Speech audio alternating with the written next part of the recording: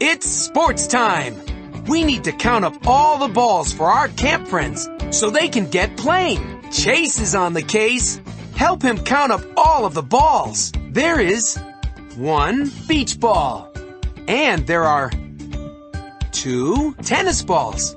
Click a ball to pick it up. Then click the basket to place it there. You got it! One plus two equals three. Balls all together. Let's keep moving and see if we can find more balls to pick up.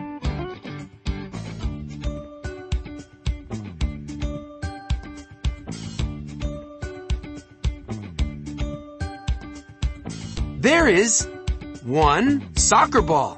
And there are three tennis balls. How many balls are there in all? You got it! One plus three equals four. Balls all together. Let's keep moving and see if we can find more balls to pick up.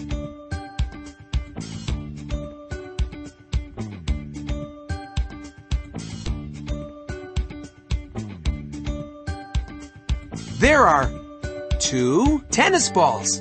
And there is one ping pong ball. How many balls are there in all? Great job! Two plus one equals three. Balls all together.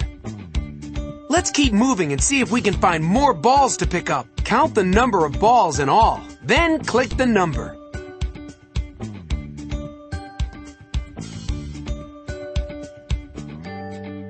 There are five wiffle balls. And there is one basketball. How many balls are there in all? You got it! Five plus one equals six. Balls all together. Let's keep moving and see if we can find more balls to pick up.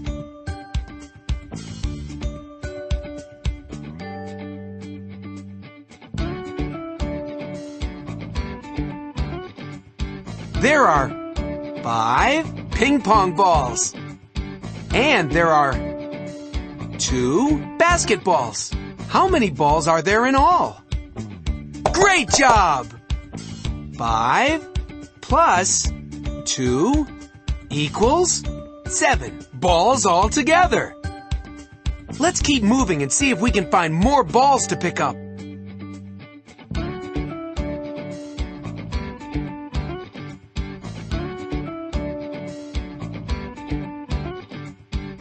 There are two basketballs.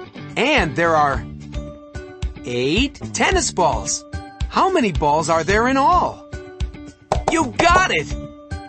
Two plus eight equals ten. Balls altogether.